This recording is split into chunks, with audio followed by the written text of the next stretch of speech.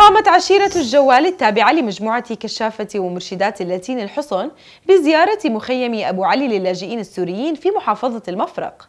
بدأت الزيارة بترحيب سكان المخيم بالمجموعة حيث دار حوار بين أفراد الجوال وأبناء المخيم حول معيشتهم والتحديات التي تواجههم. بعدها قام الجوالة بعمل فقرتي ألعاب للأطفال وتوزيع ملابس شتوية وهدايا على أبناء المخيم.